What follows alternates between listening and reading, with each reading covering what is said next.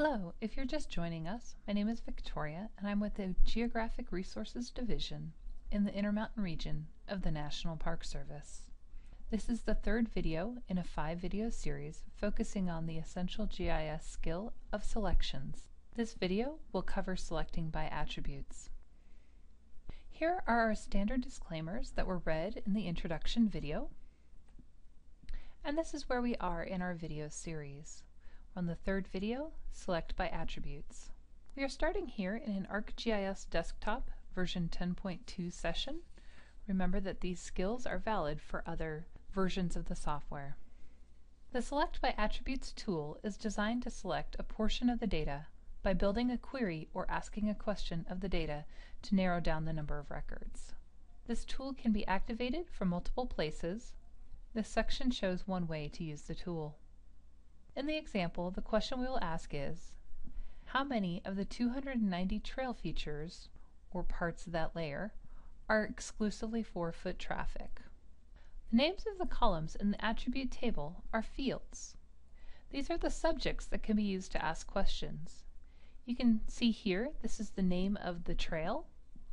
This is the type of trail use.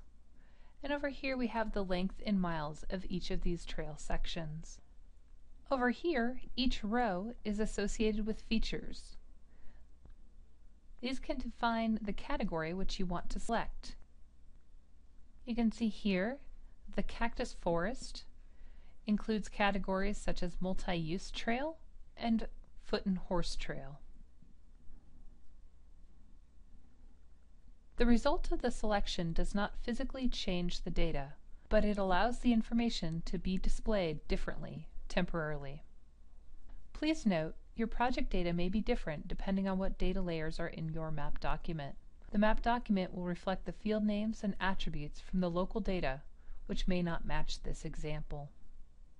Let's get started. On the main menu, left-click the word Selection, and go down and left-click the Select by Attributes option. The Select by Attributes dialog box will open.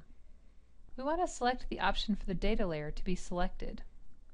Next to the word Layer, use the drop-down menu and highlight the layer you wish to use for your selection, in this case, Trails.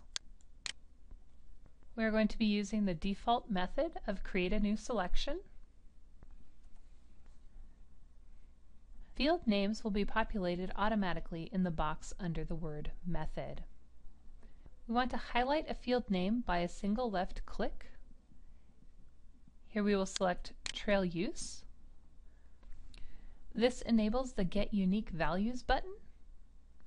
Click the Get Unique Values button and a list of choices will be displayed in the box above the button. We will be building the query or question in the bottom box below this capitalized statement.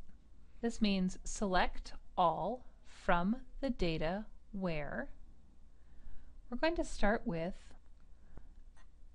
double left clicking on the field name that will be used in the query. So double click on trail use, single click on the equal sign, and double left click on our category, in this case foot. We will click the verify button to test if there are any problems with the logic statement. This expression was successfully verified, so we will click the OK button. We can now see the results of the query that we have completed. To continually modify the queries, you can use the Apply button instead. If we look at the Attribute Table window, the bottom line should indicate how many features have been selected. In this example, the query selected 26 out of 290 features. In the Table of Contents window, we're going to right-click the layer, highlight the selection option, and zoom to selected features. And this concludes the Select by Attributes video. Thank you for watching.